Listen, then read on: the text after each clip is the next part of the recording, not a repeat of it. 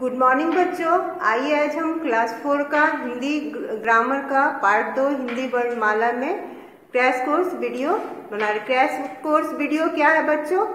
जो आपका पार्ट दो का जो भी इम्पोर्टेंट बातें हैं या मुख्य बातें हैं, वो इस वीडियो में मैं आपको बताऊँगी, जो आपके लिए बहुत ही इम्पोर्टेंट है और आपको इनको याद रखना है, ताकि आपको आगे चल के कोई इस पार्ट को दोहराने में कोई परेशानी ना हो। तो आइए, आगे बढ़ती हूँ पार्ट दो की मुख्य बातें क्या है? पहला है वर्ण। वर्ण क्या है? वर्ण भाषा की सबसे छोटी ध्वनि है, जिनके और टुकड़े नहीं किए जा सकते। वर्ण क्या है? वर्ण भाषा की सबसे छोटी ध्वनि है, जिसके और टुकड़े नहीं किए जा सकते। आगे बढ़ती हूँ, वर्ण के भेद। वर्ण के दो भेद होते हैं, स्वर वर्ण और व्यंजन वर्ण।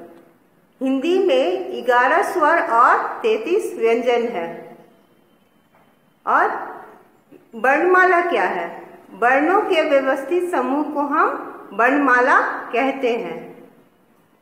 आइए आगे बढ़ती हूँ। संयुक्त व्यंजन। संयुक्त व्यंजन क्या है? जो जो वर्ण, दो दो वर्णों के मेल से बने हैं, उन्हें संयुक्त व्यंजन कहते हैं। जैसे, जो वर्ण वर्णों के मेल से ही बनते हैं, उसे हम संयुक्त व्यंजन कहते हैं। जैसे, छ और छ आपको बनाना है, क और स से बना है, और ज्ञ है आपको, य, ज और य से बना है।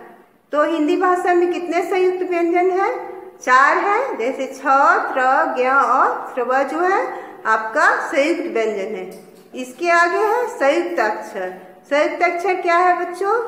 आधे व्यंजनों का मेल जब पूरे व्यंजन के साथ होता है तो उन्हें हम संयुक्त अक्षर कहते हैं, जैसे पत्ता, मक्खी आदि। इसको एक बार और दोहराती हूँ। संयुक्त अक्षर क्या है? आधे व्यंजनों का मेल जब पूरे व्यंजनों के साथ होता है तो उनके मेल को संयुक्त अक्षर कहते हैं, जैसे पत्ता, मक्खी आदि। इसमें आप देखिए पत्ता आपको कैसे बना है? आधा तो और पूरा मिला के पत्ता बना है और मक्खी में भी आप आधा क और ख देख रहे हैं तो आपको मक्खी बना है। तो बच्चों, ये पार्ट दो का आपका इतना जो है इम्पोर्टेंट ये बातें हैं जो जिनको आप याद रखेंगे। आगे मैं इस पार्ट से जुड़ी हुई प्रश्न उत्तर और कुछ अन्य बातें भी आपको बताऊँगी जो आपके लिए इम्पोर्टेंट है, जिसको आपको याद करना है, जो आगे चल के आपको काम में, आपके काम में आए। तो चलिए, मैं आपको आगे इस पार्ट से बच्चों, अभी आपने पार्ट दो को सुना और समझा। उनकी मेन बातों को आइए मैं कुछ प्रश्न उत्तर आपको बताते हैं जो आपके लिए इम्पोर्टेंट है। पहला प्रश्न है, स्वर और व्यंजन में क्या अंतर होता है? उत्तर होगा, जिन वर्णों को बोलने में किसी अन्य वर्ण की सहायता नहीं लेनी पड़ती है, वे स्वर कहलाते हैं। इनकी संख्या ग्यारह है। जिन वर्णों को बोलने में स्वर की सहायता लेनी पड़ती है वे व्यंजन कहलाते हैं, इनकी संख्या तैतीस है। आइए बच्चों, मैं इसको एक बार और दोहराती हूँ। स्वर और व्यंजन में क्या अंतर होता है? तो जिन वर्णों को बोलने में किसी अन्य वर्ण की सहायता नहीं लेनी पड़ती है, वे स्वर कहलाते हैं। इनकी संख्या ग्यारह है और जिन वर्णों को बोलने में स्वर की सहायता लेनी पड़ती है, वे व्यंजन कहलाते हैं। इनकी संख्या तैतीस है।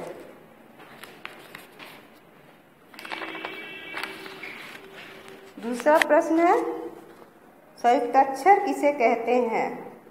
जब दो या दो से अधिक व्यंजन आपस में जुड़ते हैं, तब जुड़े हुए व्यंजनों को संयुक्त अक्षर कहते हैं, जैसे बच्चा कच्चा। से एक बार और सुन लीजिए संयुक्त अक्षर किसे कहते हैं? जब दो या दो से अधिक व्यंजन आपस में जुड़ते हैं तब जुड़े हुए व्यंजनों को संयुक्त अक्षर कहते हैं, जैसे बच्चा, कच्चा। आगे बढ़ती हूँ। प्रश्न है, प्रत्येक समूह प्रत्येक समूह में संयुक्त अक्षर वाले शब्दों पर गोले लगाइए। है, भगत, भक्त, भरत और भारत। पर संयुक्त अक्षर आपको पता ही है कि क्या होगा। ये होगा भक्त। दूसरा है गठर, गठरी, गठन और गमन। आपका संयुक्त अक्षर वाला शब्द होगा गठर। तीसरा है कृपा, कृष्ण, कृपन और कृषि। आपका संयुक्त अक्षर वाला शब्द होगा कृष्ण। एक बार और सुन लीजिए। पहला है भरत, भगत, भक्त, भारत और भारत। आपका होगा संयुक्त अक्षर भक्त। दूसरा में है गट्ठर गठरी, गठन और गमन। आपका होगा। संयुक्त अक्षर वाले शब्द गट्ठर तीसरा है कृपा, कृष्ण, कृपन और कृषि संयुक्त अक्षर वाले शब्द हो गए कृष्ण।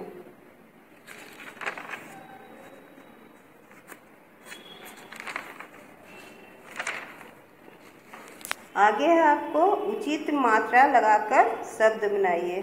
आपको मात्रा में शब्द लगाकर बनाना है। अब देखिए बच्चों, लहंगा लिखा हुआ है तो ऐसे बनेगा। ह के ऊपर चंद्र बिंदु लगेगी और बनेगा लहंगा। कयल है, क में आपको ओ की मात्रा लगाएँगे और बन जाएगा कोयल। ये है परब ये है आपका परब परब इसमें प में ऊ की मात्रा लगाएँगे, बन जाएगा पूरब। यह है आपका कबूतर। ब में ऊ की मात्रा लगाएँगे, बन जाएगा कबूतर। एक बार और सुनिए। लहंगा बनेगा, ह के ऊपर चंद्र बिंदु लगा कर लहंगा। कोयल बनेगा, क के ऊपर ओ की बिंदु ओ की मात्रा लगाकर पूरब बनेगा ऊ की मात्रा लगाकर और कबूतर भी बनेगा आपको ऊ की मात्रा लगाकर। आगे चलती हूँ।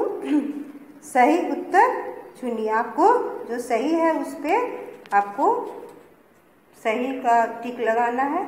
इस शब्द में री की मात्रा लगी। किस शब्द में? देखिए, श्रीमान और श्रृंगार है तो श्रृंगार में आपको री की मात्रा लगी हुई। दूसरा है, आधा न और म से बने संयुक्त अक्षर वाले शब्द होंगे। शब्द क्या होंगे?